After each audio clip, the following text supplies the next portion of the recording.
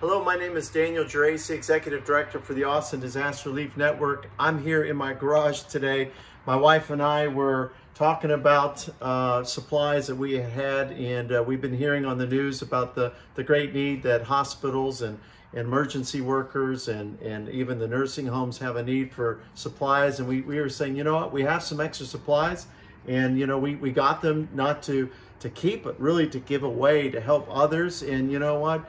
Uh, I want to just challenge those that are listening now to join me uh, in what I'm calling the coronavirus challenge because the coronavirus is trying to take away life.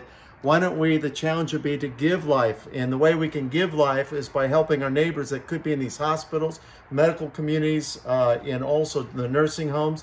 And so what I've done is I found that we had four boxes of N95s that we can give away to professionals that need them right now. We had, you know, some protective goggles that are needed. We have the 3M uh, surgical mask. Uh, I even went into my hunting gear. I'm a hunter.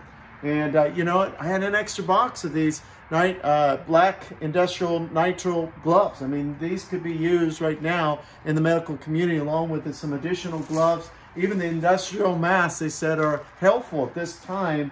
And so my challenge to everyone watching this, and especially the 200, nearly 200 churches on our network, to, to really look into their supplies and say, can we also get back in this coronavirus challenge? And let's do the opposite of what the coronavirus is doing. Let's give life back to these communities because they, you know what? They always have our back. When I'm sick, they're there for us. And I want them to be wearing these supplies when they help me out. So that is my challenge to you in Austin, Texas.